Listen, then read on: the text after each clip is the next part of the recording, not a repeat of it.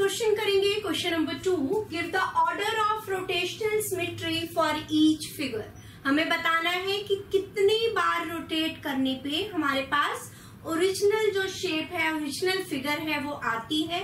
That is the order of symmetry start करते हैं first part से. This is the first part अगर हम इसे वंस रोटेट करेंगे तो ऐसा आएगा. हमने इसे रोटेट किया देन अगेन रोटेट किया।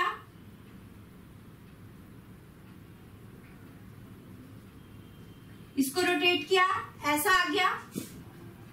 अगेन रोटेट करेंगे। देन अगेन रोटेट करेंगे तो ये फिगर आएगी। अब कितनी बार रोटेट किया, हमने one two three four original position तक आने के लिए। लेकिन इसमें कौन सी ऐसी फिगर्स है जो ओरिजिनल के सिमेट्रिकल है कि देखने में सेम है? One and two two figures ऐसी हैं जो कि देखने में सेम है आइडेंटिकल है। तो इस केस में ऑर्डर ऑफ़ सिमेट्री क्या आया हमारे पास? टू क्लियर हमने रोटेट किया इसे। रोटेट किया देन अगेन रोटेट किया। तो ये वाला पोर्शन जो है, ऐसे रोटेट हो गया। इसे अगेन रोटेट किया एंड देन अगेन पूरा सर्कल रोटेट करके हमने कंप्लीट किया। तो टू फिगर्स ऐसी हैं जो कि आइडेंटिकल है, एक जैसी है। इसलिए ऑर्डर ऑफ़ सिमेट्री हमारे पास कितना आया? To now the second part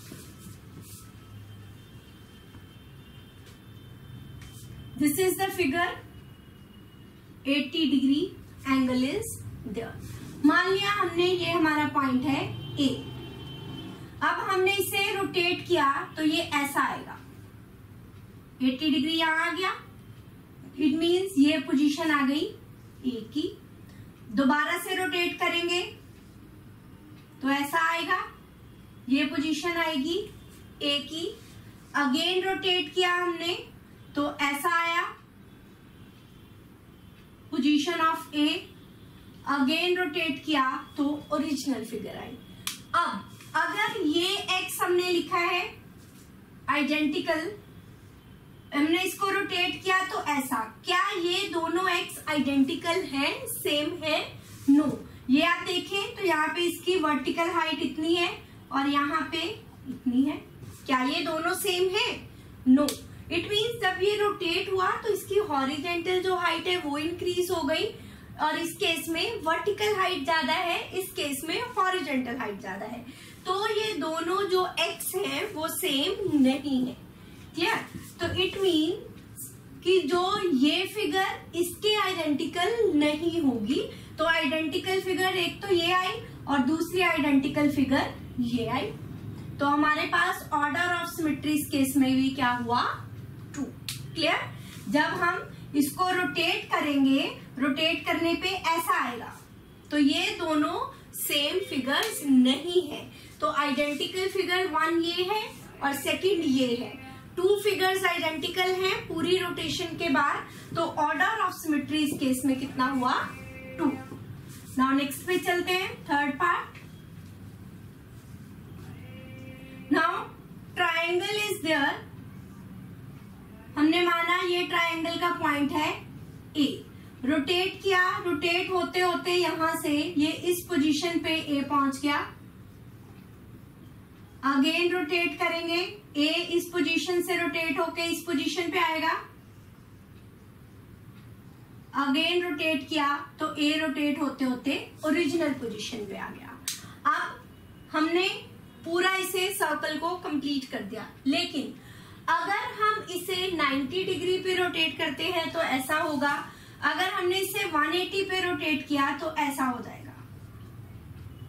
लेकिन इसलिए ट्रायंगल है, हमने इसे 120 डिग्री पे रोटेट किया सर्कल कंप्लीट हो गया 120 देन अगेन 120 120 360 हो गया पूरा सर्कल कंप्लीट तो इसलिए कि जो सिमिलर फिगर्स है, वो कितनी है? वन टू एंड थ्री जो कि देखने में आइडेंटिकल है सेम है. सो ऑर्डर ऑफ़ सिमेट्री इस केस में हमारे पास आया थ्री क्लियर हमने इसे ऐसे रोटेट किया ए को ए इस पोजीशन पे आया। अगर हम इसे, अगर ये ए है, अगर हम इसे ऐसे 90 पे रोटेट करते तो ये आता, फिर इसे 180 पे रोटेट करते, ये आता, फिर इसे रोटेट करते, ये आता, फिर इसे रोटेट करते, ये आता। इस केस में तो कोई भी फिगर आइडेंटिकल नहीं है। तो हमने इसे 120 डिग्री पे रोटेट किया, यहाँ से इस पॉइंट पे देन इस पॉइंट पे एंड देन ओरिजिनल पॉइंट पे। तो रोटेशन कंप्लीट हो गई एंगल 360 डिग्री कंप्लीट हो गया। ट्राइंगल के केस में तो नंबर ऑफ़ जो आइडेंटिकल फिगर्स है वो है three so order of symmetry इस केस में होगी थ्री नाउ नेक्स्ट चलते हैं। Fourth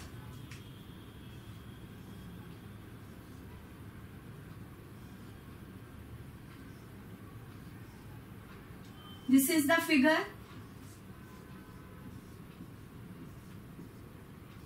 rotate करेंगे। हमने इस पॉइंट को मान लिया ए पॉइंट जब हमने इसे रोटेट किया, ये पॉइंट नीचे आ जाएगा।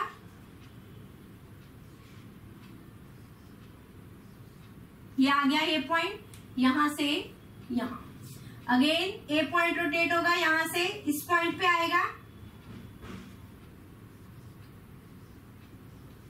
तो ए पॉइंट आ गया इस पोजीशन पे। अगेन हमने रोटेट किया ए पॉइंट आएगा इस पोजीशन पे। अगेन रोटेट किया तो ए पॉइंट आ जाएगा ओरिजिनल पोजीशन पे। अब देखने में ये चारों फिगर्स आइडेंटिकल है तो ऑर्डर ऑफ़ रोटेशन कितना हुआ? One two three four so four rotation complete हुई तो हमें ओरिजिनल फिगर मिली।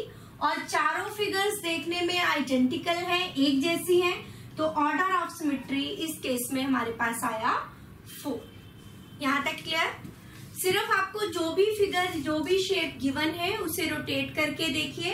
रोटेट करने से आपको पता चल जाएगा।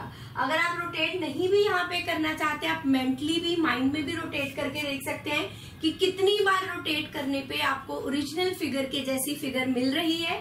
वो होगा आपका order of symmetry now next one now fifth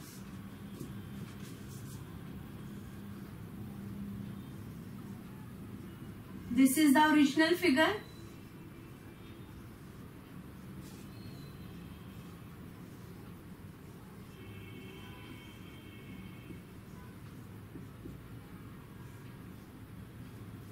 ना अगर हमने ये वाली पूरी साइड मान ली, ये ए पॉइंट है, ये वाली साइड जब हमने इसे रोटेट किया, यहाँ पे रोटेट होके ए पॉइंट यहाँ पे आ गया अगेन रोटेट किया ए यहाँ पे आया अगेन रोटेट किया ए यहाँ पे आया अगेन रोटेट करेंगे तो ए ओरिजिनल पोजीशन पे आ जाएगा।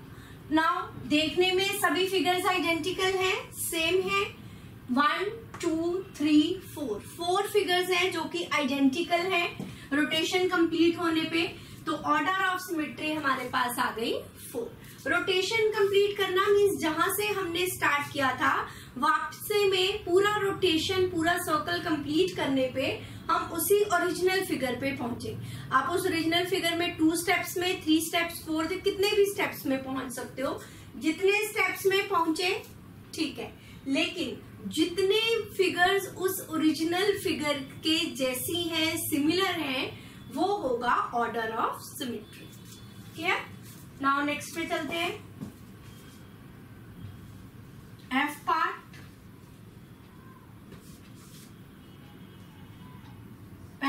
पेंटागन है एक हमारे पास ये पॉइंट माना, हमने ए इसको रोटेट किया।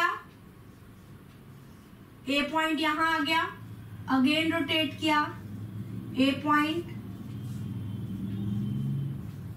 ए पॉइंट यहाँ पे आएगा। अगेन रोटेट करेंगे तो ए पॉइंट यहाँ पे अगेन करेंगे तो ओरिजिनल वाला हमें मिलेगा। रोटेट किया हमने ए पॉइंट यहाँ आया, फिर यहाँ से इस पोजीशन पे इस पोजीशन से इस पोजीशन पे आएगा, इस पोजीशन से अगेन इस पोजीशन पे, यहाँ से ओरिजिनल पोजीशन पे हमें ओरिजिनल फिगर मिल गई अब देखने में सारी फिगर्स जो है आइडेंटिकल है। आइडेंटिकल है, कितनी है? One two three four and five तो इस केस में ऑर्डर ऑफ़ सिमेट्री हमारे पास आ गया फाइव क्लियर तो आप एक पॉइंट को मूव कर रहे हो। इस पॉइंट को आपने मूव किया, यहाँ आ गया, उसी पॉइंट को आगे आगे मूव करते गए ओरिजिनल पोजीशन तक आने के लिए ओरिजिनल फिगर तक आने के लिए। तो जितनी बार आपने मूव किया और जितनी फिगर्स ओरिजिनल फिगर के आइडेंटिकल है, वो आ गया हमारा ऑर्डर ऑफ़ सिमिट्री ना नेक्स्ट स्टार्ट करते हैं। जी पार्ट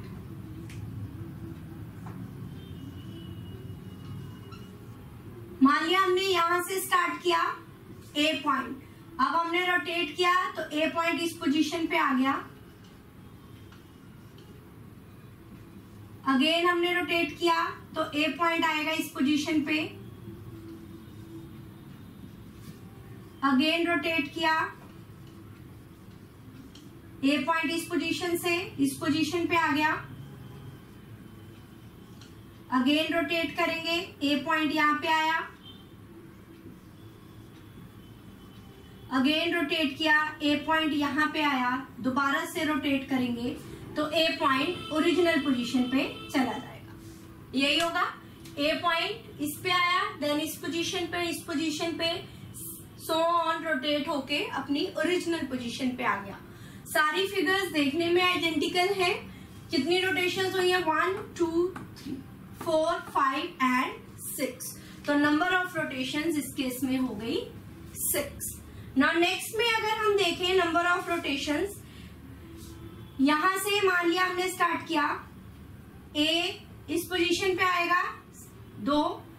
नेक्स्ट रोटेट होके ए इस पोजीशन पे आएगा देन ओरिजिनल पोजीशन पे चला जाएगा। एक पोजीशन दो और फिर ओरिजिनल पे। तो इस केस में नंबर ऑफ़ रोटेशंस कितनी हो गई? वन टू एंड थ्री तो इसमें ऑर्डर ऑफ़ सिमेट्री हो गया थ्री क्लियर कि जितनी रोटेशंस में आप एक पॉइंट से शुरू करो, उस पॉइंट को रोटेट करना शुरू करो, तब तक, जब तक हमें ओरिजिनल पोजीशन पे वो पॉइंट नहीं मिलता। हमने जैसे इस पॉइंट से स्टार्ट किया, इस पॉइंट को इसी फिगर के अराउंड ऐसे मूव करना है कि हम दोबारा से ओरिजिनल फिगर पे पहुँच जाए। पहुँच गए? जितने भी स्टेप्स आए, अब हमें देखना है अगला स्टेप कि कितनी फिगर स्टेप्स में जो भी हमने स्टेप्स किए, उसमें कितने स्टेप ऐसे थे जिसमें जो फिगर ओरिजिनल फिगर के जैसी थी सिमिलर थी सेम थी।